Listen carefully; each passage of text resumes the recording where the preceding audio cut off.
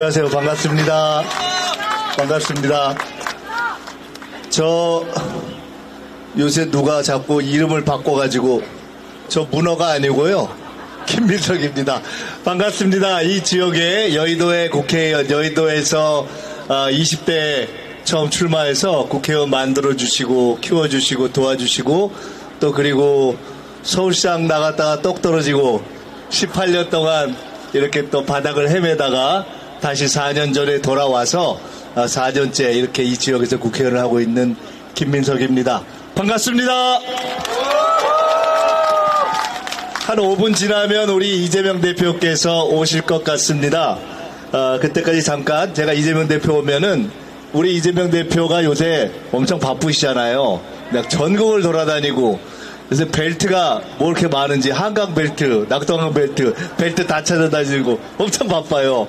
근데 우리 지역에 여의도에 어, 이 시간에는 사실은 점심 드시고 왔다 갔다 하시는 직장인들이 많지 않습니까? 우리 지역에 지역구에 사시는 분도 계시지만 그렇지 않고도 대한민국과 서울의 대표적인 직장인들이 많이 다니시는 곳이기 때문에 여기서 점심시간을 이용해서 꼭 이렇게 인사드리고 싶은 그런 마음이 있어서 여기 곧 도착하실 것 같습니다. 그 뵌 김에 저 얘기를 좀 해야 되겠어요. 사실은 이번에 31.3% 제가 맞췄잖아요. 오늘 아침에 어느 방송에서 물어봐서 제가 사실은 그 뭐 특별한 비밀이 아닌 비밀을 말씀드렸는데 어, 막상 또 비밀을 얘기하니까 좀 싱거워하더라고요. 우리가 어, 얼마 전에 해외 투표가 있었잖아요. 근데 해외 투표가 사실 그 저 아시는 분들 중에 미국 같은데 교민 중에 우리 다 친척들이 한둘씩은 있잖아요. 미국 같은 데서 투표하려면 엄청나게 힘듭니다. 6시간, 7시간, 8시간씩 운전해서 투표를 해야 돼서 거기서는 아예 투표 투어라고 이렇게 얘기를 한다는 거 아닙니까? 그런데 그렇게 6, 7, 8시간씩 운전을 해서 투표하는 그 숫자가 지난 몇 회의 평균에 비해서 무려 5%도 아니고 10%도 아니고 20%가 늘었다는 거 아닙니까? 어마어마하게 는 거죠. 이것뿐만이 아니라 저희가 쭉 수치를 봤거든요. 그런데 이번에는 꼭 투표하겠다. 그리고 그 투표하겠다는 중에 사실 민주주의라는 것은 이당 지지하는 분도 있고 저 당 지지하는 분도 있잖아요. 그런데 이 당도 저 당도 아니고 우리가 흔히 통상 중도 또는 무당이라고 하시는 분들 중에 이번에는 꼭 투표하겠다 뿐만 아니라 이번에는 꼭 심판해야 되겠다 하는 그 여론이 과반을 훌쩍 넘는 것을 보고 저희가 아 이번에는 심상치 않구나. 이번 사전 투표율과 본 투표율은 아마 통상적으로 느는 그 비율을 훌쩍 뛰어넘어서 30에 육박하는 수준을 뛰어넘어서 30을 넘고 31을 넘을 가능성이 있다 하는 과학적인 예측에다가 사실은 마지막에 0.3 붙인 건 조금 운이었어요. 우리가 지금 밀고 있는 숫자가 뭔지 아시죠? 기호 1번 2라고 또 뭘 밀고 있죠? 3. 2라고 3을 밀고 있잖아요. 그래서 사전 투표율 31.3하고 본 투표율 72.3을 밀었는데 이게 딱 맞은 겁니다. 근데 제가 뭐 정직하게 말씀드리자면 점심시간이니까 말씀드리자면 사실은 제가 문어보다는 낙지를 더 좋아하긴 합니다. 어쨌든 저희는 이번 사전 투표율과 그리고 해외 국민의 투표율에 나타나고 있는 그 무거운 뜻을 귀하고 중하게 받아 안습니다. 이 투표율에 담겨 있는 의미가 얼마나 무서운 것인지 그 뜻에서 심판하고자 하는 이 정권의 실정이 얼마나 잘못된 것인지 그 잘못이 얼마나 중하게 누적되어 왔는지 그리고 그렇게 해서 국민들께서 만드시려고 하는 야당이 한번 제대로 견제해라 하는 그러한 뜻의 다음 22대 국회가 우리가 얼마나 무거운 책임을 가지고 대통령이 독주를 못하게 해야 하는 것인지 민생은 어떻게 살려야 하는 것인지 필요한 비리는 어떻게 우리가 국회에서 바로 잡아야 하는 것인지 그 국민의 뜻에 담겨 있는 그 무거운 뜻을 잊지 않고 가겠다. 저희는 31.3, 71.3을 넘어서 우리 국민들이 민주당이 제시했던 1, 2, 3, 4, 5의 비전, 출생률 1을 회복하고 물가를 2%로 잡고 성장률 3%를 회복하고 세계 4대 혁신 강국으로 가고 그렇게 해서 바로 이곳 여의도에 있는 이 주가 5천을 회복하는 바로 그러한 바로 2년 만에 윤석열 정권이 엉터리로 정치를 했지만 우리가 새로운 비전을 가지고 정치와 경제와 민생을 회복시키기 위해 최선을 다하겠다 하는 그런 말씀을 드립니다.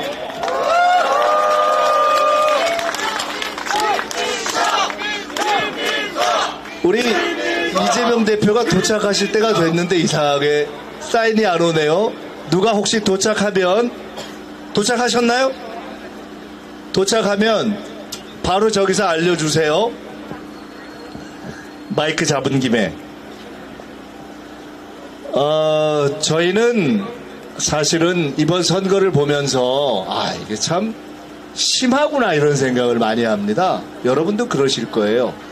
솔직히 팔을 갖고 들어가도 되냐 안 들어가도 되냐 이런 걸 갖고 적어도 정치나 행정이 규제를 하고 어떤 지침으로 삼고 얘기했고 이런 적은 없었잖아요. 지금 대한민국의 시계는 2024년 4월 아닙니까? 근데 지금 이 나라의 정치와 행정은 몇 년도를 가리키고 있습니까?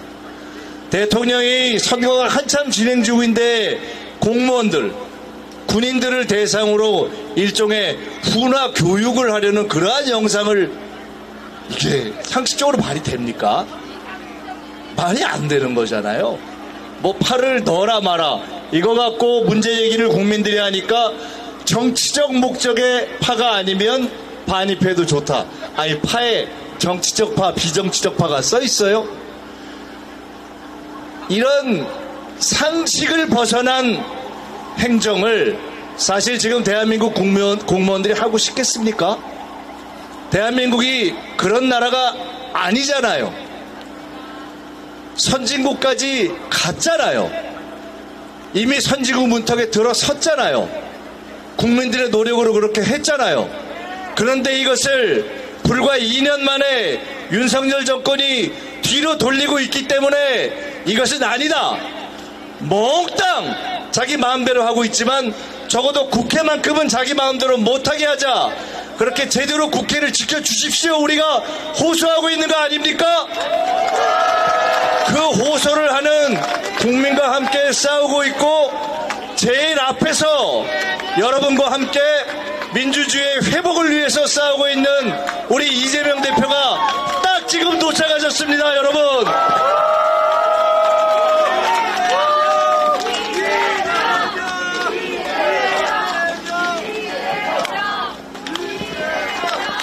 자, 우리 이재명 대표께서 말씀하실 시간을 우리 1분이라도 더 가집시다. 우리 이재명 대표 바로 너, 마이크를 넘기려고 하는데 여러분 뜨거운 박수로 맞이해 주십시오. 감사합니다.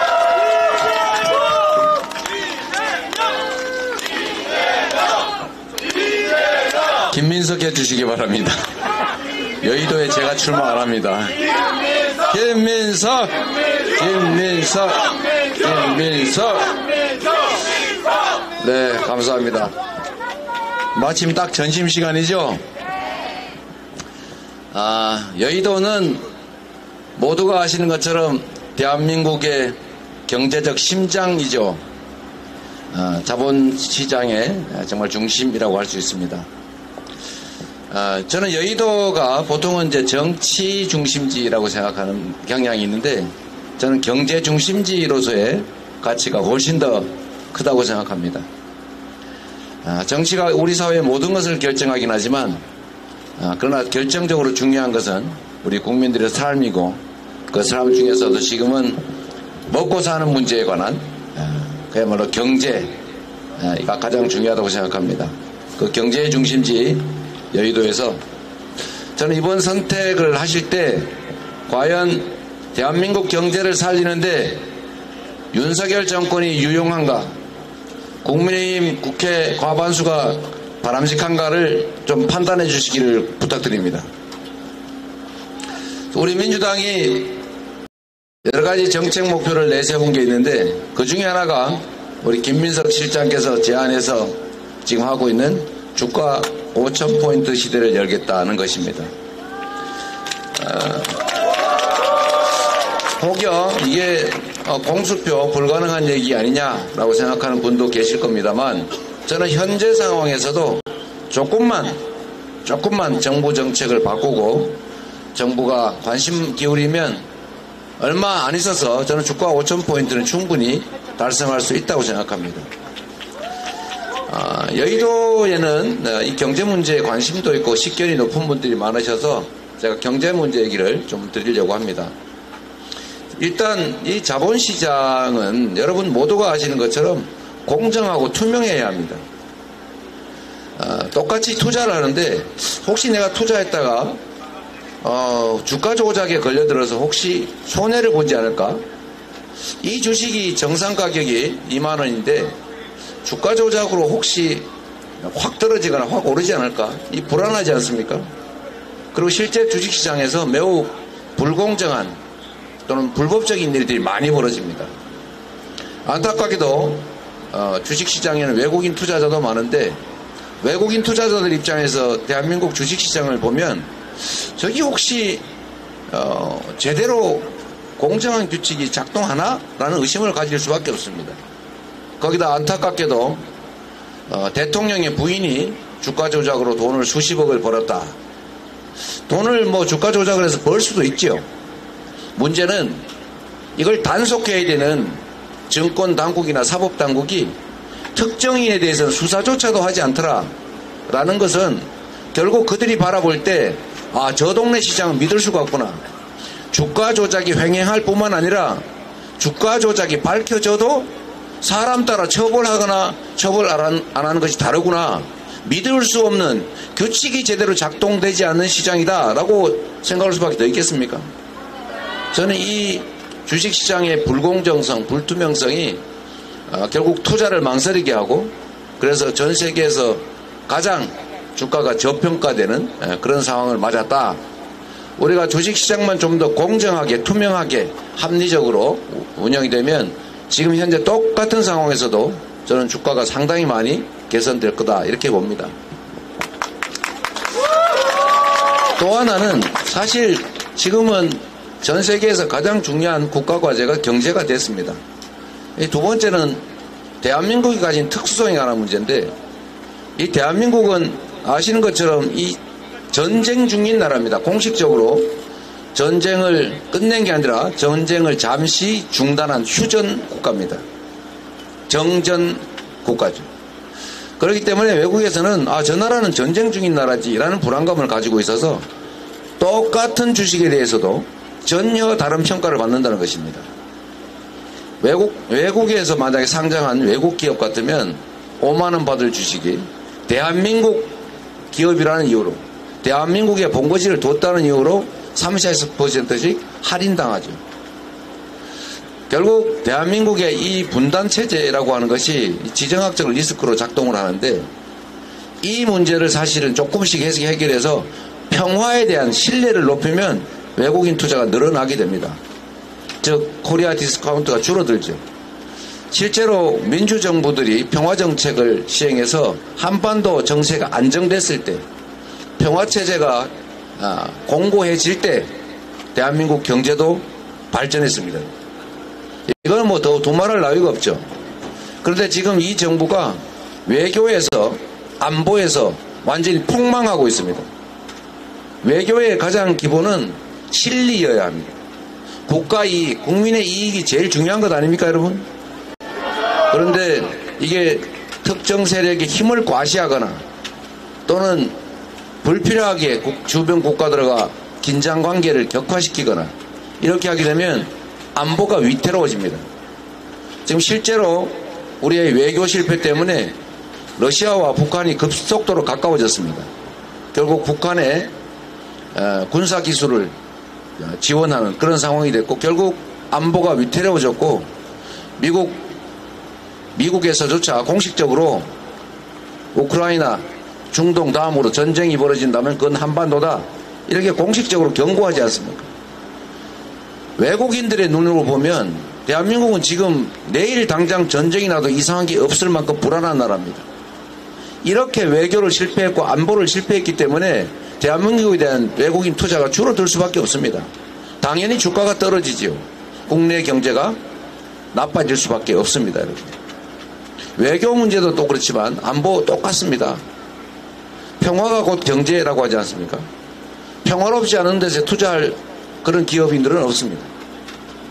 대한민국의 평화가 매우 위기에 처했다는 것은 분명합니다. 외교적으로 고립되고 있습니다. 실리가 아니라 이상한 가치 외교에 너무 지나치게 편중하다 보니까 계속 경제 영토를 잃어가고 있습니다. 기업들의 대외 활동 여건이 점점 나빠지지 않습니까? 결국 기업들 수지가 나빠지면 대한민국 경제가 나빠집니다. 또 이런 것도 있습니다, 여러분. 민주주의라고 하는 것이 곧 먹고 사는 문제가 된 세상입니다. 과거에는 민주주의, 자유와 평등, 합리성과 공정성이라고 하는 것이 그야말로 인권과 자유의 가치에 불과했다면 이제는 이게 경제 문제가 됐습니다. 독재 국가에 투자하는 기업들은 없습니다, 여러분. 독재 국가란 예측이 불가능합니다. 앞으로 어떻게 될지 알 수가 없습니다. 불투명하고 불합리하기 때문에 계획을 세우기가 불가, 불, 불가능합니다. 결국 투자를 망설일 수밖에 없습니다. 경제는 합리적이고 예측 가능하고 투명하고 공정한 환경에서만 살아나는 것 아닙니까? 그런데 대한민국이 지금 독재화의 길을 갑니다. 언론의 자유로운 보도를 가로막는가 하면 국민들의 입을 틀어막습니다. 귀를 막고 눈을 막습니다.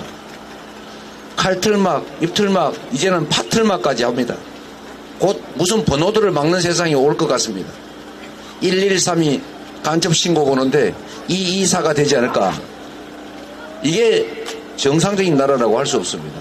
이런 나라에는 투자하지 않습니다. 똑같은 조건이면 합리적이고 공정하고 예측 가능한 나라에 투자하겠지요. 그래서 여러분, 이 나라가 모든 면에서 후퇴한 것, 민생과 경제, 직접적인 경제 정책뿐만 아니라 안보, 외교, 민주주의 모든 면에서 이 나라가 후퇴했고 그게 결국 경제를 나빠지게 만들고 결국 우리 국민들의 민생을 삶을 어렵게 만든 것입니다. 그래서 여러분 저희가 말씀드리는 것은 권력을 누가 갖느냐 이것은 중요하지 않습니다. 국민의 입장에서 이 나라 주인의 입장에서 권력을 누구에게 맡기는 것이 우리의 삶에 도움이 되는가 대한민국 경제에 도움이 되는가 대한민국 안보에 대한민국 평화에 대한민국 민주주의를 지키는데 어떤 정권이 더 유익한가 국민의 입장에서 판단해야 되지 않겠습니까? 김민석이 국회의원 되고 안 되고는 사실 국민들의 입장에서는 중요하지 않습니다. 국민의 입장에서는 김민석이 당선되는 게 지금 이 정권의 역주행, 폐행을 막고 중단시키고 다시 우리가 왔던 그 정상적인 길, 선진 경제 강국, 문화 강국의 길, 평화롭고 안전한 나라, 민주적인 모범 국가 되돌아, 되돌아가는데 누가 더 유용하냐를 판단해 봐야 합니다, 여러분. 저는 우리 국민들의 저력을 믿습니다. 여론조사에 누가 유리하니 불리하니 얘기한들 결국 투표로 누가 많이 득표하느냐로 결판 나는 것 아닙니까? 투표하면 얘기입니다. 여러분, 여러분들은 어찌 생각하실지 모르겠는데 이 대한민국의 주권은 국민에게 있다고 합니다. 그런데 압도적 다수의 국민들이 선택한 권력은 왜 언제나 극소수 기득권자의 편을 듭니까? 여기서는 혜택 보신 분도 혹시 있을지 모르겠지만 국가 재정이 부족해서 경제가 나빠서 세수가 줄어들어서 국민들에게 지원해야 될 서민 지원 예산 다 삭감했습니다. 청년 지원 예산 삭감했습니다. 심지어 이 나라 미래가 걸려있는 과학기술 투자, 연구개발 예산조차 5조 2천억을 삭감했습니다. 제정신입니까 여러분? 우리 부모들께서 좀 더 잘 살아보겠다고 자식이라도 좀 잘 살게 해보겠다고 논 팔아 밥 팔아 대학 보내고 공부시켰습니다. 흉년 들었다고 너 학교 가지 마 이런 부모 없었습니다. 어렵더라도 더 공부를 시켰고 그래서 소 팔아서 대학이 상하탑이 아니라 우골탑 됐다고 하지 않습니까 여러분 국가도 마찬가지입니다. 대한민국은 가진 자원이 없습니다. 가진 역량은 우리 국민들의 성실함과 우리 국민들의 두뇌 그리고 정말 잘 움직이는 손발 아닙니까? 근면한 성실한 국민들. 국가의 미래는 이제 과학기술에 달려 있습니다. 그런데 과학기술 예산을 5조 2천억씩이나 줄여가지고 지금 석박사 과정 다니는 그 학생들, 연구자, 과학자들이 생계가 불가능해서 해외로 투- 탈출하려고 합니다. 해외에서 유인합니다. 우리가 생활비 대줄 테니까 우리나라 와서 연구하세요. 이런 무지한 정부를 여러분 보셨습니까? 이런 정부를 그대로 방치할 겁니까? 이렇게 놔두면 나라 다 망합니다, 여러분. 경제 문제로 다시 돌아가서 이 말씀도 한번 드려보겠습니다. 여러분들은 경제에 관심이 많은 분들이실 테니까요. 여러분, 경제가 어려우면, 즉, 소비와 생산이 위축되면 정부 지출, 재정 부문 역할을 늘리는 게 우리 교과서에 나오는 거 아닙니까? 어려울 때일수록 정부가 투자해야 되지 않습니까? 누가 정부, 대통령 개인 돈 들여 투자하라고 했습니까? 국민들의 세금으로, 국민들의 결국 최종 부담이 될 재정으로 하라는 것 아닙니까? 저는 이랬으면 정말로 좋겠어요. 전 세계가 에너지 대전환의 시대를 대비해서 재생에너지에 집중적인 투자를 하고 목숨을 걸고 있습니다. 미국이 화석연료 보유량으로 치면 정말로 세계에서 가장 많은 양을 가지고 있을 겁니다. 그런데 그 나라가 미국이 재생에너지, 태양광, 풍력 발전에 엄청난 투자를 하고 있습니다. 왜냐? 앞으로 얼마 지나지 않아서 전 세계의 글로벌 기업들은 화석 연료로 생산한 제품은 사지 않는다. 재생에너지로만 생산된 제품만 사겠다. 알리백. 우리 모두가 알지 않습니까? 그런데 대한민국은 재생에너지에 투자하지 않습니다. 재생에너지 생산 목표를 낮췄습니다. 재생에너지 관련 기업들을 압수수색하고 탄압해서 재생에너지 산업이 위축되고 있습니다. 여러분, 이럴 때 정부가 재생에너지를 위한 기초 체력을 키울 때입니다. 이럴 때가 바로 재생에너지 산업을 위한 대대적인 투자, 우리식 표현을 하면 에너지 고속도로를 깔 때입니다. 산업화 고속도로를 깔아서 우리가 박정희 대통령 때 산업화를 이뤄냈습니다. 김대중 대통령이 앞날을 내다보고 정부화 고속도로를 깔아서 인터넷 고속 인터넷망을 깔아서 우리가 IT 강국이 됐습니다. 이제 우리는 에너지 고속도로를 깔아서 전국 어디서나 해안이든 산속이든 저 버려진 땅에서든 태양광으로 풍력으로 발전해서 자기가 쓰고 남은 나머지 에너지는 다 팔 수 있게 길을 열어주면 얼마나 좋겠습니까? 그러면 화석 화석 연료 발전소들, 석탄 발전소, 가스 발전소, 그리고 그 위험한 원자력 발전소 굳이 더 안 지어도 됩니다. 수입 대체할 수 있습니다. 에너지 수입 대체 얼마나 효과가 크겠습니까? 국내 기업들이 여러분 잘 아시겠지만 국내 수출 기업들이 앞으로 5년 후, 10년 후에는 국내에서 재생에너지를 조달할 수가 없기 때문에 장기 투자 계획을 세우지를 못하고 있습니다. 여러분 자세히 물어보면 여러분 회사도 그렇게 하고 있습니다. 여러분 지금 이미 국내 재생에너지 생산량이 부족해서 생산기지를 해외로 옮기려고 하고 있습니다. 기업들이 무서워서 말을 하지 못할 뿐입니다. 앞으로 좋은 일자리 다 없어질 수 있습니다.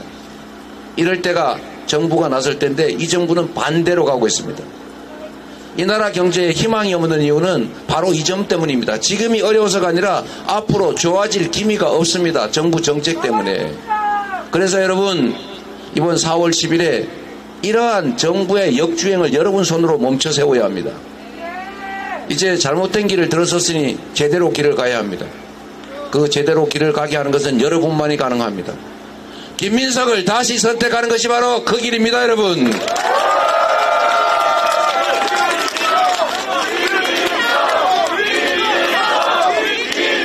여러분,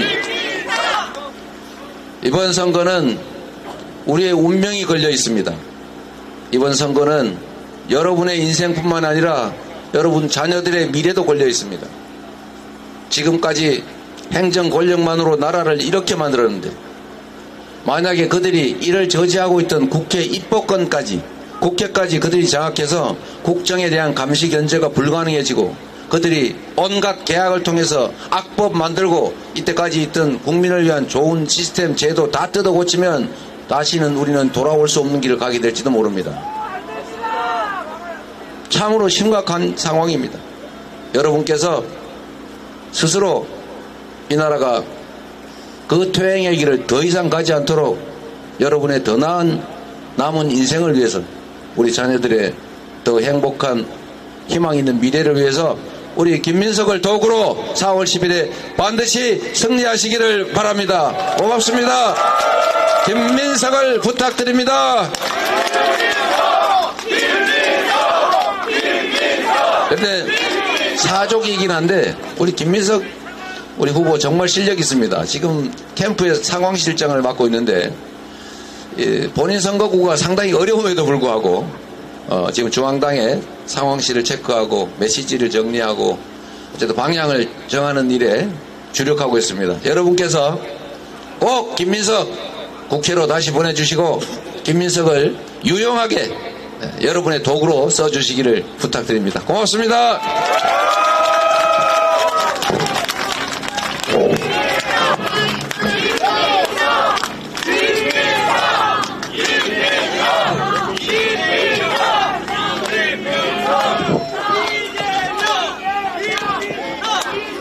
자, 우리 이재명 대표 여러분.